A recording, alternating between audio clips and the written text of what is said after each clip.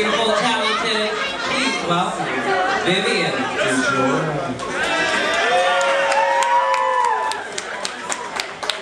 Stay too close, too pretty. Don't photograph us together. All right, uh, what song did you choose? Uh, it's not right, but it's okay by Whitney Houston. And why did you choose that song? Does it speak to you? Uh, I just really like that song, and Whitney Houston is the voice. So Rest in peace. Wet, watery grave. All right, give it up for Vivian DeJour.